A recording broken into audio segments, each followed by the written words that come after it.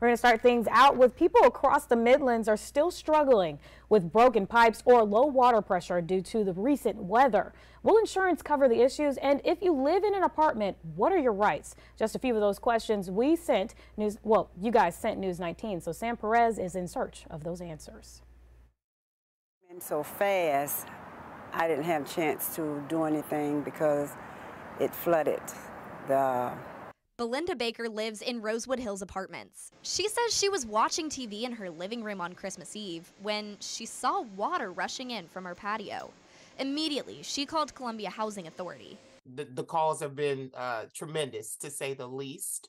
Yvonne DeBean is the CEO of Columbia Housing. She tells me that the group has been out since Christmas Eve responding to calls about broken pipes. I hope soon they'll be here to get everything straightened out. Carolyn Hill lives in the unit below Belinda.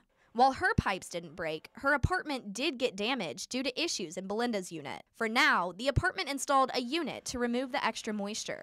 For people like Shacrystal Richardson, flooding still hasn't been fixed. My daughter and I heard the gargling noises coming through the wall. Shacrystal lives at Harbor's Landing. When a pipe burst in a vacant unit next to her, she had to call the fire department to shut off the water.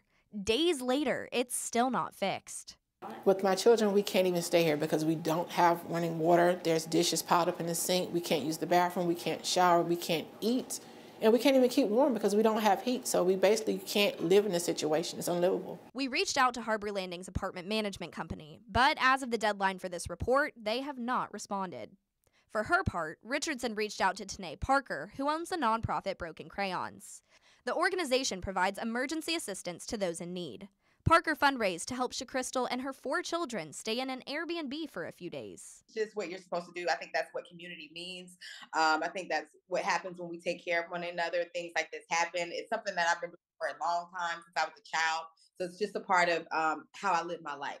While Shacrystal is still waiting for her apartment's maintenance to resolve the issue, she's hopeful it will be fixed soon. Belinda is hoping for the same. In the meantime, she shared a lesson. Make sure you get renters insurance. Belinda tells me she's filed a claim with her insurance company for the property damage. Reporting in Columbia, Sam Perez, News 19 WLTX. News 19 reached out to the South Carolina Department of Insurance to see what residents with renter's insurance can do. According to Acting Director Michael Wise, if your rental, rental is rendered uninhabitable as a result of covered loss, Temporary housing may be covered under the loss of use or additional living expense section of the policy. He says it's important to track your spending and save your receipts.